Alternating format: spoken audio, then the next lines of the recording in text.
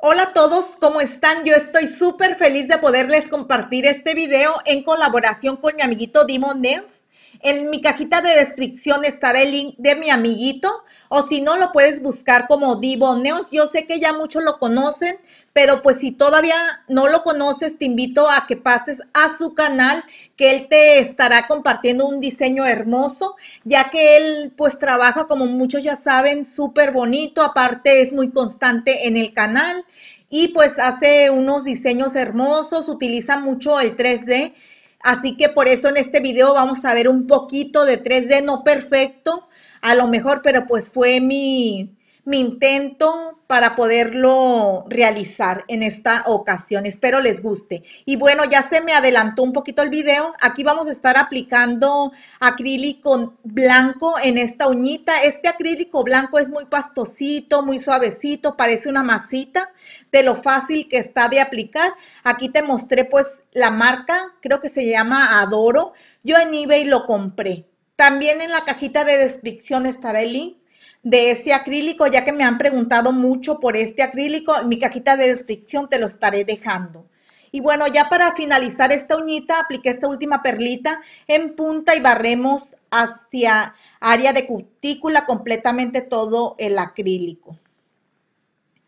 En esta uñita del dedo meñique también lo vamos a estar aplicando y utilizando este acrílico blanco. Cuidadosamente lo estaremos aplicando para no tocar piel en esta, pues, en esta parte de la uña, en área de cutícula. Ya que se me haya secado el acrílico, continúo la aplicación de esta siguiente perlita y de la misma manera lo estaré barriendo hacia la punta. Y así continúo aplicando las perlitas por toda la uña. Espero que seque muy bien cada perla aplicada para seguir aplicando pues las siguientes perlitas. Aquí vamos a aplicar esta última perlita nuevamente para dejar la, la uña completamente uniforme. Vamos a realizar una rápida mezcla utilizando primero acrílico cristal y después vamos a tomar pigmento azulito, un azul bajito y para realizar el acrílico o la mezcla más azul fuerte voy a estar aplicando pigmento negro. También puedes estar utilizando pigmento, mica o acrílico que tú tengas en casa. Y así es como queda un tono azul más fuerte. Es una mezcla muy brillosita, me gustó muchísimo. Y la vamos a estar aplicando en el dedo del medio, cuidadosamente, ya que es un color muy subido, muy intenso. Así que donde toquemos va a manchar este color, así que lo estaré aplicando cuidadosamente sobre toda la uña. Como puedes ver es un color muy cubridor. Me gustó muchísimo cómo, cómo quedó el tono. Así que si tú tienes un acrílico azul bajito, lo puedes hacer oscuro, obviamente con acrílico o pigmento que tú tengas negro. Como dice el dicho, hay que trabajar con lo que tengamos en casa. Yo en realidad pues este color no lo tenía, solamente el azulito que ustedes miraron como un azul eléctrico así. Y pues yo quería en esta ocasión un tono más subidito, más oscurito. Y pues ya para finalizar esta uña, apliqué esta última perlita en área de cutícula y barreré completamente hacia la punta. En esta uñita del dedo anular voy a estar aplicando también este mismo acrílico ya después voy a estar encapsulando solamente estas dos uñitas donde aplicamos este tono azul. Las uñitas blancas pues así van a quedar. Y con solo dos perlitas de acrílico cristal voy a estar encapsulando este acrílico azul. Es un tono azul rey, se me olvidó el nombre. Bueno, yo así lo conozco como azul rey ya que se hayan secado muy bien estas uñitas, voy a estar limando y puliendo todas mis uñas. Aquí vamos a aplicar gel UV en todas, todas las uñas. Y llevamos a curar a lámpara.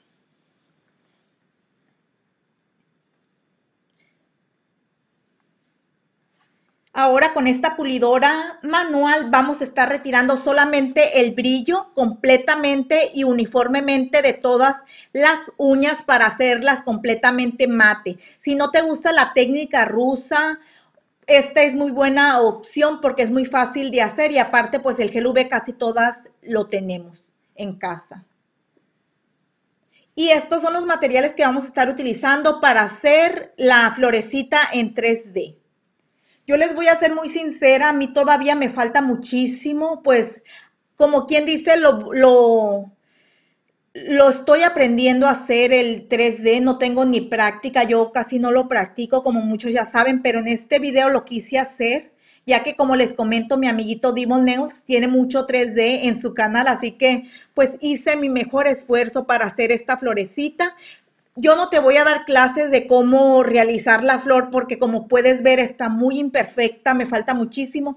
Yo pienso que del 1 al 10, un 6 me doy o un 5, la verdad. Pero lo que te puedo decir antes, eh, si todavía no practicas el 3D, que comiences aplicando perlitas súper, súper chiquitas que tú vas a pensar, pero con estas perlas no se pueden hacer nada. Yo era lo que me falló, la hice cuatro veces y la retiré y la retiraba y la retiraba porque me quedaban muy grandes los pétalos. Y eso fue que ya después tomé perlitas súper chiquititas que con el pincel apenas se levantaban. Así comencé pues a hacerlas. Y así fue como quedaron. Y otra de las cosas que matices el acrílico blanco con cualquier color, porque así no se miran tanta la imperfección de las uñitas matizando el color blanco. Porque con el acrílico blanco, blanco pues se mira más la imperfección en la flor. Y otra de las cosas que utilices el acrílico blanco o el acrílico negro para empezar a hacer el 3D son los tonos que más se prestan para realizar pues el 3D. Son las únicas cositas que te puedo yo compartir, eh, pues acorde a la experiencia que tuve con el 3D, que comiences con eso. Ya después de haber hecho esta florecita me gustó y quiero pues empezarlo a practicar. Más, pero esos son los tips que te puedo dar al momento pues de que empiezas a practicarlo.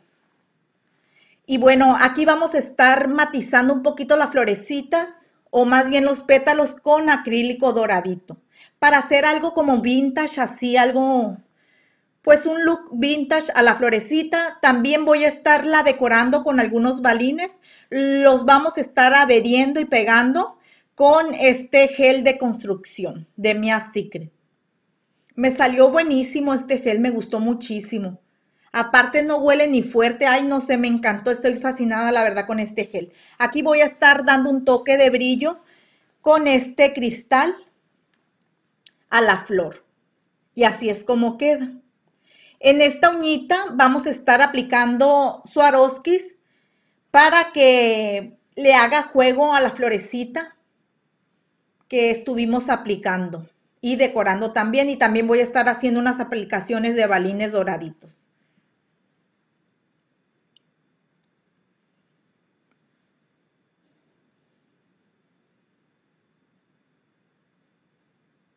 Y así es como queda el decorado de esta uña. Ya después voy a estar aplicando activador de resina para que seque más rápido la resina y le dé un toque y brillo extra a los Swarovskis.